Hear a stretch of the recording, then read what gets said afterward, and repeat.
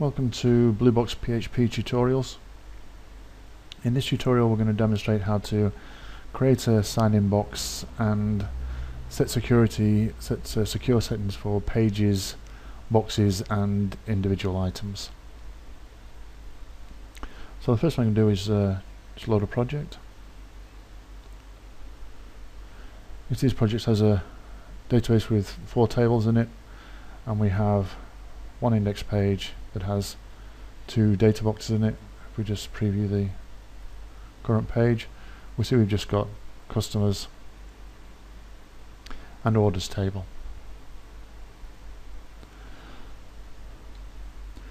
Okay, so the first thing, if we look at our tables, you can see we don't currently have an admin user table that has our usernames, emails, passwords, etc.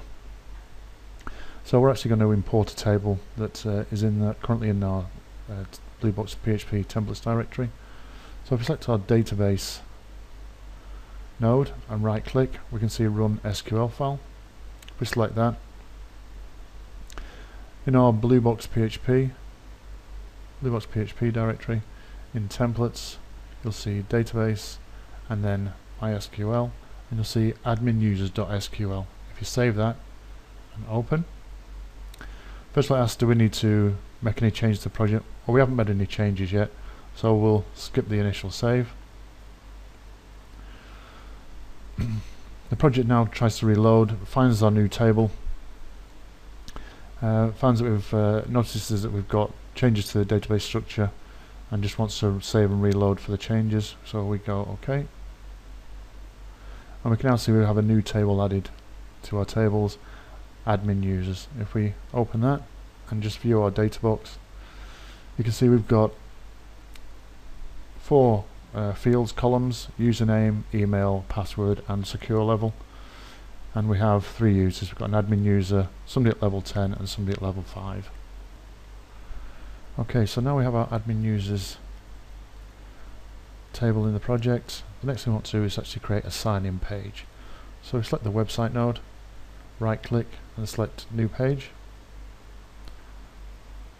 in our create new page editor we're going to select the empty page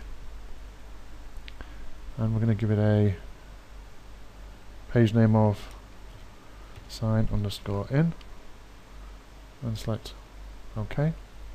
We see now we have our sign in page created and the next thing we're going to do is select our sign in boxes node and right click and select new sign in this is our creates a new sign in box. So we'll give the box a name. Sign sign in and here we have to tell the sign in box which fields uh, is required and which table which fields required that has our admin uh, user information. So our database table is admin users the one we've just added. The username column username for our table. Password column is password and the levels column is level. We're not going to select MD5 encoded because uh, our passwords aren't but we are going to tell it that on signing in which page we want to go to and on signing in we want to go to the index page and when we sign out we want to go back to the sign in page. So we select OK. We now have our new sign in box that's been created. If we now select this box we just need to tell Internet Explorer that um, we want to allow this block content, it's just an ActiveX control. And we can see we can select which sign-in box type we want. We'll just keep the standard Bluebox PHP one template for this there's a you may also find additional sign-in templates on blueboxphp.com so we can see here's the information we've already set up. And on the right here there's some user customizable fields that we can change but we won't bother changing anything for our current view okay so we now want to drag and drop our sign-in box into our empty box div so left click, drag, and once we're hovering over the empty div, release the left mouse button, and that now adds a sign in box.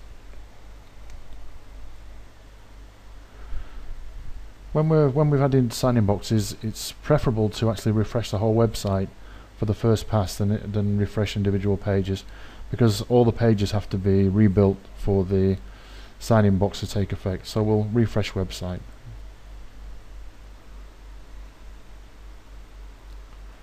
if we now select the sign in box, we'll rebuild the sign in box. Okay, that's great. And again the index box.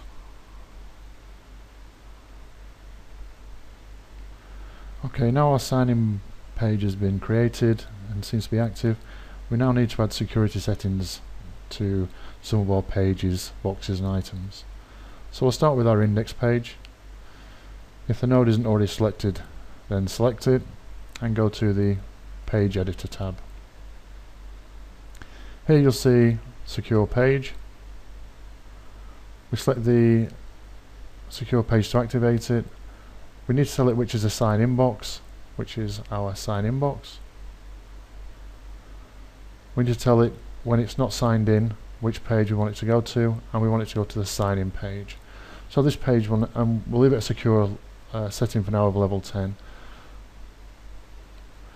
So the index page, to actually view the index page, we now have to have a secure level of 10 with a sign-in box, uh, and, and if not, it goes to the. If we're not signed in, it goes to the sign-in page. In fact, what we'll do for this, just for the page general itself, we'll actually drop secure down to 5. If we now rebuild the index page, as you can see, we can't view it at the moment because we're not signed in, so we've been passed straight to the sign-in page. Okay, so we'll now test our sign-in. We do have a level 5 user. If we if we actually go back to admin users and look at the data box, we have a username at level 5, password level 5, and it gives us level 5 for test. We'll go back to the browser and we'll enter in. Uh, even though this says email, it's the it's actually looking for the email. It's looking for the user uh, for the username. If we just go back to the sign-in box, we can see we've told it the field is username and not email. In fact, so there's no confusion. We'll just test this to username. Refresh the website. Okay, so username is level 5. Password is level 5. And we sign login. No, don't have passwords. Okay, so we've signed in, and as expected, we've been sent to the index page. What we can't do at the moment is actually to sign out, so we'll change that now. Selecting our sign in box, if we now left click and drag it into the header of the index page, open that. If we now select the sign in box, and right click and what we want to do is use sign out HTML and if we now rebuild the index page you can say just here we have a sign out tag. And if we click that and sign out then we sign out and go back to Bluebox PHP so we now sign in again. Level 5 level 5 login and we're taken to the index page Okay, on our administration pages, we may not want all our data boxes or data tables to be displayed. So what we're going to do is, at this point now, we're going to set our secure settings for the orders box. So if we minimize admin users, go to the orders box and select data box, we can see here on this line here, set box security. So first we have to tell it which sign-in box it's using and it's using the sign in box and which secure level. And for this we're going to set this as a secure level of 10 so if you so if we now refresh the website you can see we have customers but we don't have the orders box.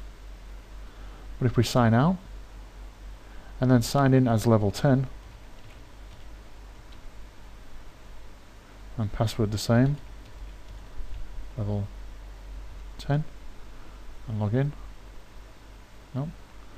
we can now see our orders tables back. So if we sign in, if anybody signs in with a secure level below level 10, they won't see the orders box. They'll only see the customers box. If anybody signs in with level 10 and above authority, they'll see both boxes. Now as well as securing boxes, we can also secure certain items. So if we look at our customers box, close this, open our customers box, open the customers data box. If we look at our credit limit, we may not want our credit limit viewable to anybody below level 15. So if we set credit limit, this opens our item editor. On the tabs here, if we select security, again we tell it which sign inbox, sign inbox, on what level we want the security setting to, and we'll set this to secure level 15. If we now refresh the website, we can now see we no longer see the credit limit column. We can only see the customer reference, the name and the address. We can also do this for the add. This is the add uh, icon. This is the edit and delete icons. We can do the same for them. So we'll set the add icon, security, sign in and level 15. The edit icon, security box, level 15 and the delete icon. Signing box on level 15. And if we now refresh the website, you can see that we can no longer add new customers, we can no longer edit new customers. We can still, with multi delete, delete new customers. We now come down to our contact box, our customers, and uncheck use multiple select and refresh the website. Okay. So now we can export a customer's uh, uh, comma separated uh, values to an XML file. We can view our customer's details but we can no longer add edit or delete because we're only signed in at level 10 if we now sign out again and sign in as admin admin is, is default for this admin table which gives us level 20 authorization. So we sign as admin and log in. We can now see we have our credit limit column back we have our edit delete and add columns back.